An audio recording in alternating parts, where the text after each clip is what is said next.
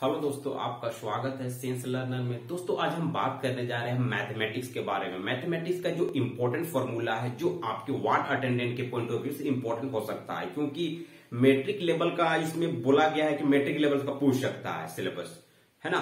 तो चलिए मैट्रिक के मैथ्स का कुछ इंपॉर्टेंट फॉर्मूला मैं यहाँ पर बताने की कोशिश करूँगा, जो बहुत इंपॉर्टेंट होते हैं एग्ज़ाम के पॉइंट ऑफ़ व्यू से, जो आपको हेल्प करेगा। तो चलिए हम बात करते हैं। देखिए, सबसे पहले मैं यहाँ पर बात करूँगा, देखिए, ये हमारा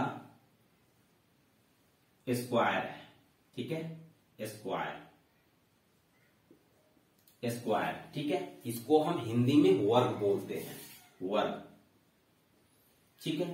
तो इसका क्या क्या फॉर्मूला हो सकता है? उस चीज़ को मैं बताने की कोशिश करूँगा। देखिए पेरीमीटर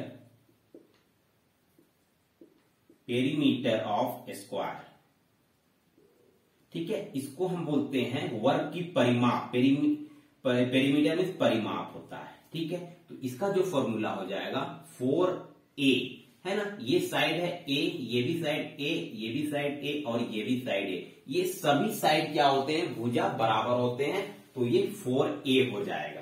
ठीक है? मीन्स पेरीमीटर मीन्स सबका जोड़, है ना? ये हो जाएगा। बेसिक मैं इंफॉर्मेशन दे रहा हूँ, मैं डिटेल में यहाँ पर नहीं बता रहा हूँ। ठीक है? इसके बाद, अगर हम इसका एरिया बताएँ आपको, है ना? स्क्वायर का एरिया तो क्या हो जाएगा? ए इंटू ए ए स्क्वायर ठीक है? मीन्स एक, दो साइड को मल्टीप्लाई कर देंगे तो एरिया आ जाता है, ठीक है? उसके बाद, इसका हम डायगोनल निकालेंगे, ठीक है? विकर्ण आप सुने होंगे डायगोनल है ना? तो स्क्वायर का जो डायगोनल होता है है ना? डायगोनल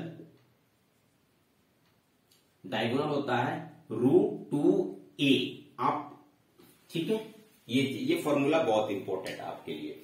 इसके बाद इसके बाद हम बात करेंगे रेक्टेंगल का, ठीक है? रेक्ट एंगल का बात करेंगे। रेक्ट एंगल ठीक है? ठीक है?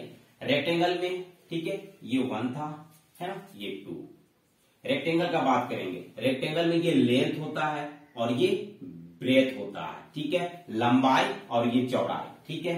देखिए, ये लेंथ और ये लेंथ बराबर होता है, ये ब्रेथ और ये ब्रेथ बराबर होता है, ठीक है?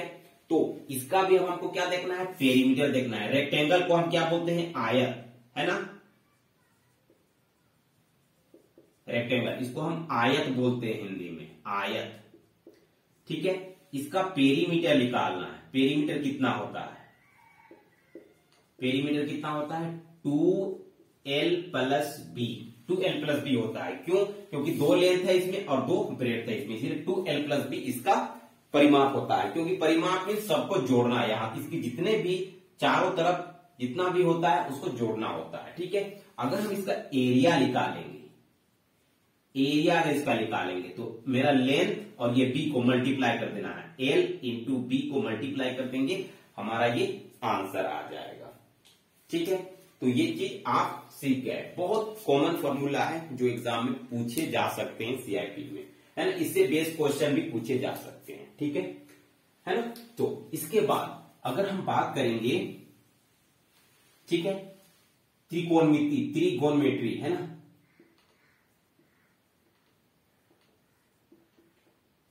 त्रिकोणमेट्री के फॉर्मूले की बात करेंगे।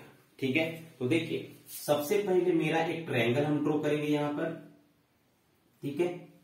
ए बी एंड सी ये 90 डिग्री हमेशा होगा। ठीक है? ये 45 हो सकता है, ये भी 45 हो सकता है, ये 30 हो सकता है और ये 60 हो सकता है। इसमें कुछ भी हो सकता है। बट इसमें क्या होते हैं ना? कुछ इसके पॉइंट्स होते हैं इंपॉर्टेंट होते हैं। ठीक है? देखिए, सबसे पहले आपने पढ़ा होगा टेन क्लास में साइन थीटा ठीक है?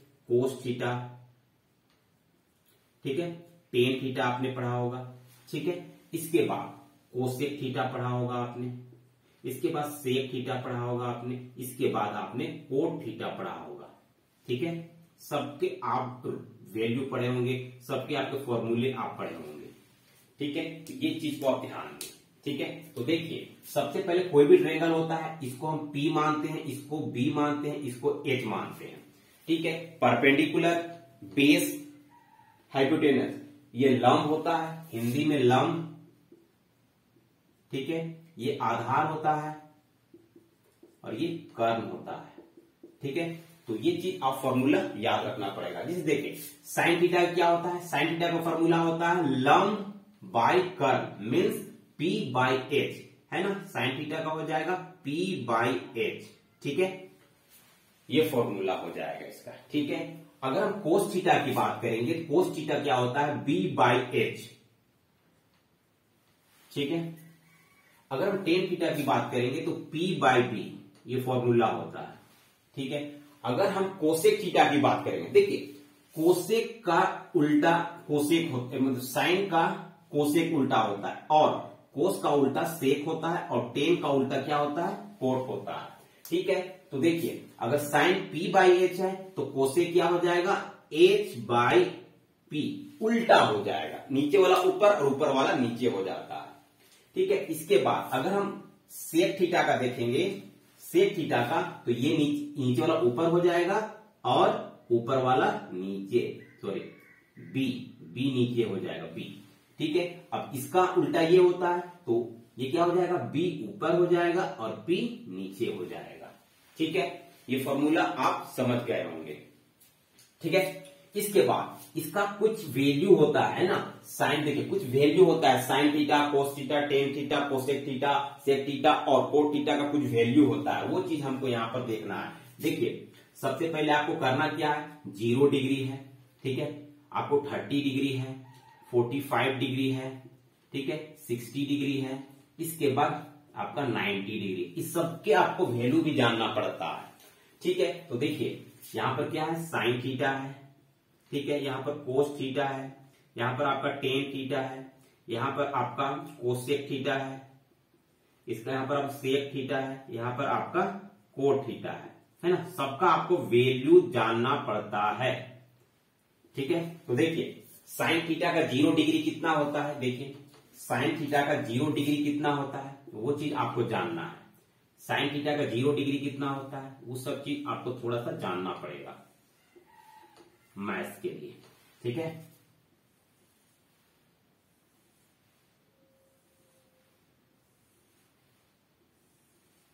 ठीक है, मैथ्स के लिए जानना पड़ेगा। देखिए हाँ देखिए, ज़ीरो डिग्री का ज़ीरो वैल्यू होता है है ना? साइन ज़ीरो डिग्री का ज़ीरो वैल्यू होता है। अगर हम बात करेंगे साइन थर्टी डिग्री का साइन थर्टी डिग्री का वन बाई टू होता है और साइन फोर्टी फाइव डिग्री का वन बाई रूट टू होता है, ठीक है? और साइन सिक्सटी डिग्री का रूट थ्री बाई टू होता है और साइन नाइन्टी डिग्री का वन होता है वैल्यू ठीक है? ये चीज़ आपको जानना है। कोस कोस ज़ीरो डिग्री का वन होता है, ठीक है? और कोस थर्टी डिग्री का रूट थ्री बाई टू होगा, ठीक है? और फोर्टी फाइव का वन बाय रूट टू होगा। ठीक है? कोस सिक्सटी डिग्री का वन बाई टू होता है और कोस नाइन्टी डिग्री का ज़ीरो होता है वैल्यू ठीक है? कौन कोई टेन थर्टी डिग्री का टेन थर्टी डिग्री का क्या होता है? है ना? ज़ीरो डिग्री का ज़ीरो होता है। ठीक है? उसके बाद थर्टी डिग्री का कितना होता है? थर्टी डिग्री का होता है वन बाय रूट थ्री और फोर्टी फाइव का वन होता है सिक्सटी डिग्री का हो जाता है रूट थ्री और टेन नाइन्टी डिग्री का इंफिनिटी हो जाता है अनडिफाइंड उसको हम परिभाषित नहीं कर सकते डिफाइन नहीं कर सकते। हैं अगर कोसेक डिग्री का देखेंगे, देखिए साइन और कोसेक उल्टा होता है, ठीक है? ये चीज़ आप याद रखिएगा। तो देखिए तो साइन थीटा ज़ीरो डिग्री हुआ है तो कोसेक ठीक कोसेक ज़ीरो डिग्री क्या हो जाएगा? इन्फिनिटी हो जाएगा, इसको हम डिफाइन नहीं कर पाएँगे, ठीक है? उसके बाद साइन थर्टी डिग्री क्या होगा? यहाँ पर वन बाई टू है इसका उल्टा टू हो जाएगा, ठीक है? अगर हम को कोसेक फोर्टी फाइव डिग्री की बात करें वन बाय रूट टू होता है साइन का तो इसका उल्टा हो जाता है ये रूट टू हो जाएगा सिर्फ़ ठीक है? और sine sixty cosec sixty degree कितना हो जाएगा? टू बाई रूट थ्री उल्टा उसका। ठीक है? उसके बाद साइन साइन नाइन्टी डिग्री एक वैल्यू होता है तो कोसेक जी नाइन्टी डिग्री कितना हो जाएगा? ये भी वन ही हो जाएगा। ठीक है? सेक का कितना होगा? कोस का उल्टा सेक होता है। तो जब ज़ीरो डिग्री वन होता है तो सेक सेक का भी वन ही हो जाएगा। और थर्टी डिग्री कितना होगा? थर्टी डिग्री होगा टू बाई रूट थ्री हो जाएगा। ठीक है? और 45 डिग्री कितना होगा? रूट टू हो जाएगा। ठीक है? और 60 कितना हो जाएगा? टू हो जाएगा। ठीक है? और 90 कितना हो जाएगा? 90 सेक का इंफिनिटी हो जाएगा। क्योंकि इसका ज़ीरो हो रहा था तो ये इंफिनिटी हो जाएगा। कोट का अगर हम बात करेंगे तो कोट का, इसका उल्टा है। तो टेन का ज़ीरो हो रहा था ज़ीरो डिग्री तो कोट कोट का इंफिनिटी हो जाएगा, ठीक है? अगर थर्टी डिग्री का हम बात करेंगे थर्टी डिग्री कितना हो रहा था? ये रूट थ्री हो जाएगा, ठीक है? अगर हम बात करें 45 तो ये वन ही रहेगा, अगर 60 डिग्री की बात करेंगे 60 degree one by root three हो जाएगा, अगर हम 90 डिग्री की बात करेंगे तो 90 डिग्री का ये हो जाएगा ज़ीरो ठीक है? ये बहुत इंपॉर्टेंट फॉर्मूला होता है, आपको ये करना चाहिए, ठीक है? ये बेसिक फॉर्मूला था इसके साथ, अगर हम एक और फॉर्मूला अगर आपको इसमें बताने की कोशिश करेंगे, देखिए, इसमें सब में देखो, ये क्या होता है? एग्ज़ाम में क्या होता है ना? इसका वैल्यू दे देगा पी का वैल्यू दे देगा बी का वैल्यू दे देगा तो एच का वैल्यू निकालना पड़ता है। मीन्स तीनों में से किसी एक का वैल्यू को छोड़ देगा तो उसका वैल्यू आपको निकालना पड़ेगा। तो यहाँ पर हम सबका वैल्यू सबका हम किस, कैसे निकालना है, सबका हम फॉर्मूला बता देते हैं, ठीक है? अगर आपको पी निकालना होगा, है ना? पी अगर आपको, देखिए अगर आपको H निकालना होगा, H निकालना होगा तो H का फॉर्मूला जो होता है P square plus B square ठीक है? तो ये स्क्वायर है, इसको हम रूट में कर देंगे तो इतना हो जाएगा P square plus B square ठीक है? तो ये एच निकल जाएगा, जो यहाँ पर हाइपोटेनस कर्व है ना, इससे एच निकल जाता है, ठीक है? आप इसमें वैल्यू रख दीजिएगा, इसका और इसका तो इसका वैल्यू आंसर आ जाएगा, ठीक है? अगर आप चाहते हैं तो इसका मैं क्लास भी ले आऊँगा, इसमें कोई दिक्कत नहीं है, ठीक है? बट ये छोटा वीडियो करने के चलते मैं इसे फॉर्मूला सिर्फ़ बता रहा हूँ, ठीक है? इसके बाद इसके बाद अगर हमसे हमको पी निकालना है इसे पी अगर निकालना है तो हो जाएगा H square minus B square ठीक है? रूट कर देंगे इसको तो हो जाएगा H square minus B square इससे पी निकल जाएगा, ठीक है? अगर हम बात करेंगे बी निकालने की बात करेंगे तो B square equal to H square minus P square और, है ना, और इसको रूट कर देंगे तो हो जाएगा H square minus P square इससे निकल जाएगा, है ना? इसके बाद इसके बाद अगर कुछ और इंपॉर्टेंट फॉर्मूला जो होते हैं, मैं उसको बता रहा हूँ, चलिए देखते हैं। अलजेब्रा कुछ फॉर्मूला होते हैं, उसको मैं बताने की कोशिश कर रहा हूँ। देखिए ए प्लस बी का होल स्क्वायर आप याद रखिएगा. A square plus B square plus two A B ये क्लियर होना चाहिए आपको.